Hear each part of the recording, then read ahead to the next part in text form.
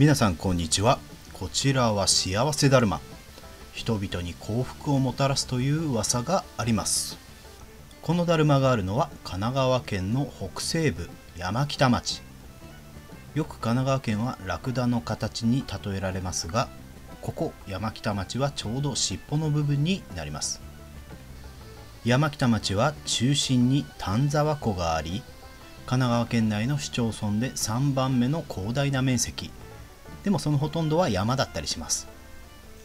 そのため登山の名所や温泉自然を利用したアクティビティが楽しめる町今回も行き当たりばったりで何回かに分けて山北編を配信していこうと思います。第1弾は街の紹介も兼ねてメジャースポット多めです。おすすめありましたら第2弾3弾へ反映するのでぜひコメントお待ちしてます。ちなみに山北町の長称ですが中の山は方角の北を示していてこの部分が山。この部分がパカッと割れて北となって山北。となるみたいですね。さて私が山北を訪れたのは8月中旬。いつもは綺麗な川なんですが直前に大雨が何度かあって丹沢湖のダムから絶賛放流中のため川が濁ってます。普段は綺麗で穏やかな川なのでご留意ください。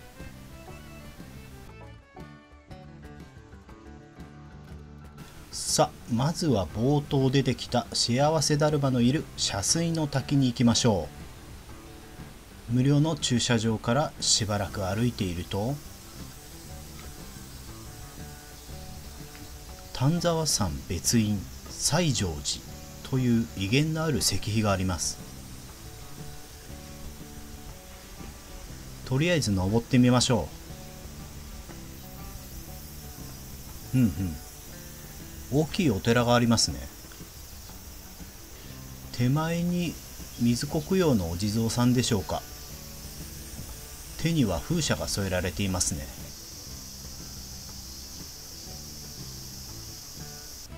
さてお参りをしましょう。中の説明書きを拝見しましたがご本尊は延命地蔵菩薩様で長寿や不在の徳を持つとのことです。さて戻って遮水の滝へ向かいます。こちらの遊歩道は現在整備中のため令和4年3月までは、えー、日曜日と祝日のみの開放となっているのでご注意ください。水温チェックですね。しっかり冷たい今日は使ってもいいな。さあ滝が見えてきましたがこちらも結構前から整備中で進めるのはここまで。見えているのは1の滝落差は69メートル。その奥の見えてないんですけど2の滝は16メートル3の滝は29メートルあるらしいです。以前は奥まで行けたみたいなんですが、まあ、現在整備中ということで、まあ、遊歩道にはですね他にも結構見どころはあるので楽しめると思います。遠くの滝もいいですがこちらの壁から伝わる水の流れもちょっとリアルな恐怖感があっていいですね。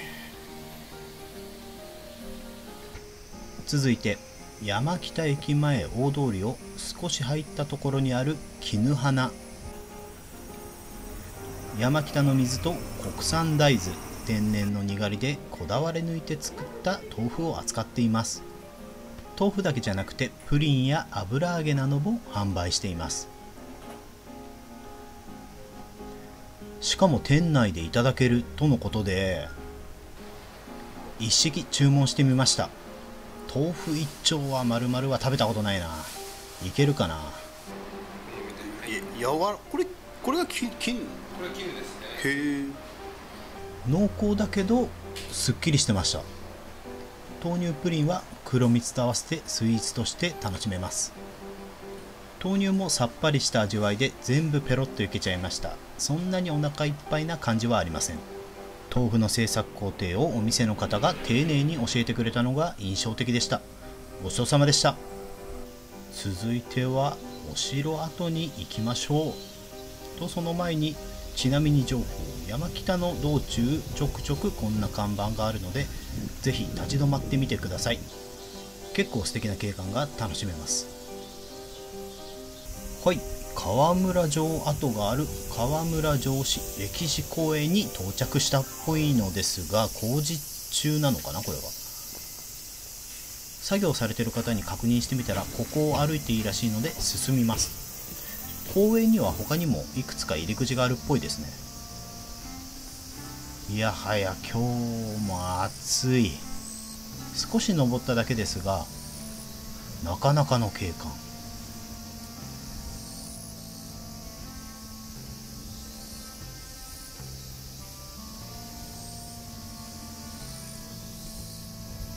おや？双眼鏡がありますね。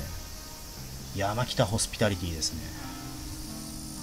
少し進むと展望台が見えます。登ってみましょう。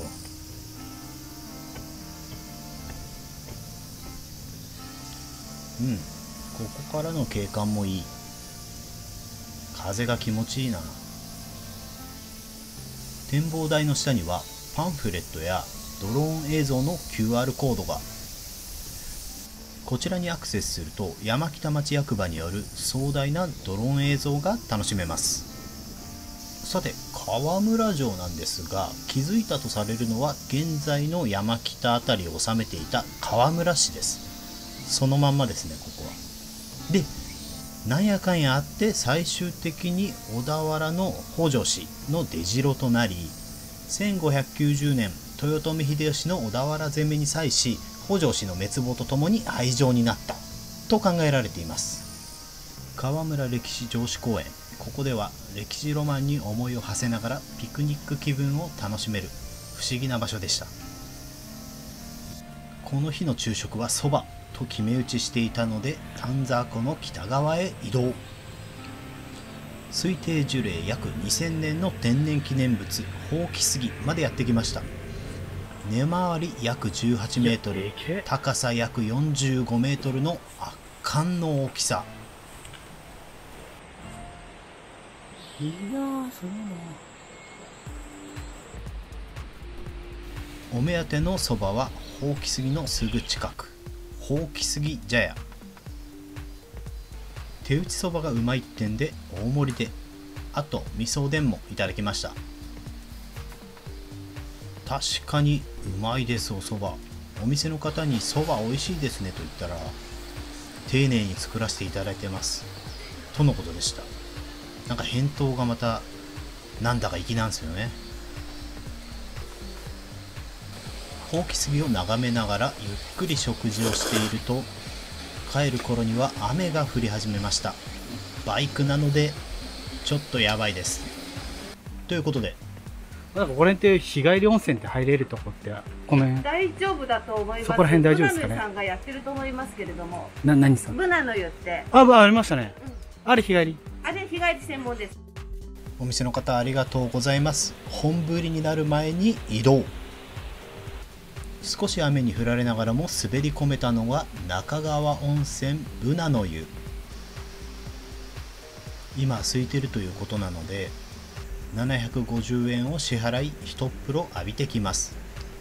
中川温泉はいくつかの温泉施設がありその昔武田信玄が負傷兵を密かにこの地で療養させたことから信玄の隠し湯という異名がある知る人ぞ知る温泉街なのです。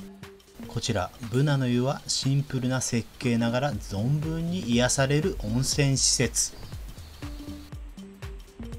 浴室には沐浴。という注意書きがあり浴室でマスクができない分会話をしないでコロナ感染対策をしましょうということでした。雨も止み近くを少し散策すると楽しそうな橋がありました。静かに渡りましょう。通行制限5人まで。これは面白そうだ。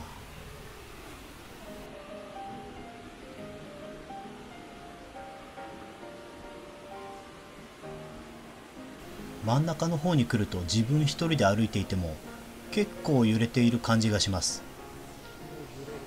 せっかくならこういうのを苦手な人と一緒に来た方が盛り上がりそうですね。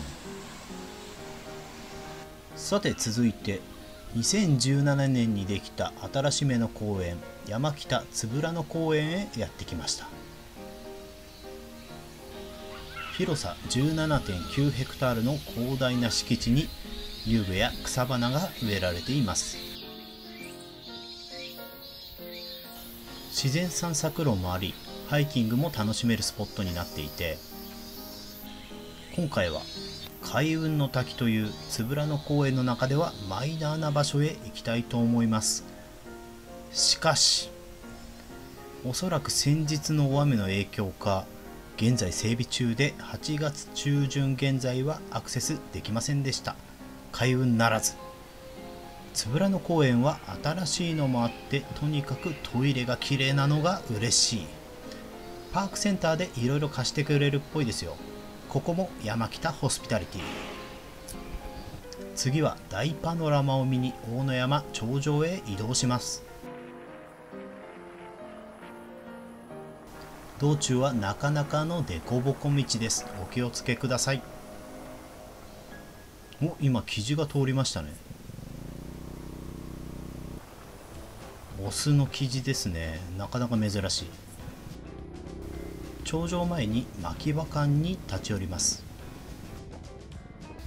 ここは畜産に関する理解を深めるための展示物やその歴史などを紹介していてさらに大野山の見どころの写真なども見学することができます。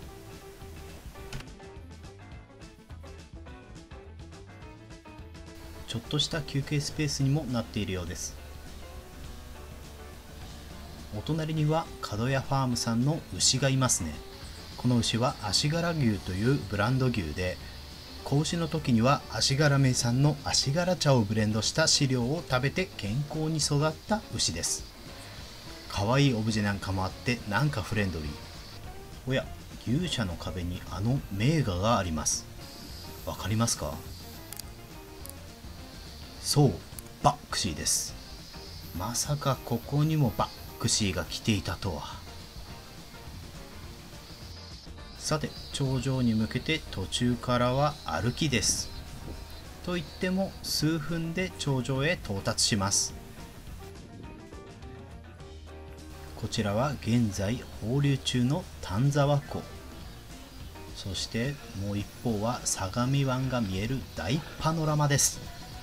風が強いので木陰に入るとすごい気持ちいいです。寝れそう。足に自信があればハイキングでも楽しいスポット。駅まで2時間。僕は無理。少し下ってコーヒーブレイク。カフェリーフス。黄色い旗が営業中の目印です。手作りのログハウスすごい可愛いですね。もちろんこれもご主人の手作り。店内は天井が高く木をあしらったオブジェなどがゆったりとした雰囲気を作り出しています。ご主人が「今日はどこ行ってきたの?」と気さくに話を始めてくれてそこからしばらくご主人が20年以上前に安定した会社員生活を辞めて山北にカフェを開くまでの話や最近の山北情報などを教えてくれて楽しい時間が過ごせました。人生を楽しんでいる人の話を聞いていると自然とこちらも元気が出てくる気がします。カフェリーフスちょっとした隙間にふと立ち寄りたくなるカフェ。ちなみにお子様も大歓迎とのこと。次は高松山方面へ行ってみましょう。こちらはですね一度も足を踏み入れたことがないエリアですね。少し登っていくと東名高速道路の整備中なのかな。すごい道です。さらに進むと滝がありました。こちら山百合の滝。少し見つけづらい場所にありますがなかなか見応えがあります。水温チェックは無理ですね。落ちそう。滝を後にしてさらに進んでいくと町立川村小学校高松分校があります。こちら2010年に廃校していますが建物はまだそのまま。記録には1974年には児童数がすでに4人だったことから初めから生徒数は少なかったみたいです。少し建物に近づこうかなと思ったらあれはスズメバチの巣ですね。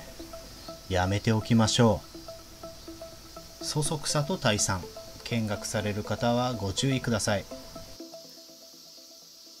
さてまたもや汗だくなので山北駅前の桜の湯に入ってから帰宅。健康福祉センターに併設されている人工温泉で料金は400円運動浴室と温泉エリアがあります。ここでもやはり沐浴。と意気揚々と掛け湯をした時に違和感を覚えました。とても苦しい。そうです。マスクをしたまま掛け湯を頭からかぶりマスクがびしょびしょ。とりあえずロッカーにマスクを戻して再び浴室へ。ジャグジーや小さい露天風呂もあって満足な内容でした。でお風呂上がりずぶ濡れのマスクを軽く絞って装着。受付のお姉さんに事情を話しマスクを販売していないか尋ねたところなんと新しいマスクを1枚いただけました。これも山北ホスピタリティ。お風呂上がりに入り口付近の売店にいて山北ブランドのすっぽんドリンクとラーメンをいただく。山北には有名なすっぽんの養殖場があるんです。ガラナが入っているので栄養ドリンク味。特に臭みなどはありません。ラーメンはそうそうこれこれたまに食べたくなる味のやつ。さて元気になったので健康福祉センター近くにある鉄道公園へ。その名の通り鉄道があります。D5270 蒸気機関車。昭和22年に東海道線の開通で山北駅ができて昭和の初めに御殿場線になるまで山北は鉄道の街として大変にぎわい主要駅として栄えていたそうです。こちらの蒸気機関車はイベントなどで動かすことがあるため月に1回は整備運行を実施しているらしく各所に塗った油の香りがすごくこの魅力的な鉄の塊の存在をより大きくしている感じがします。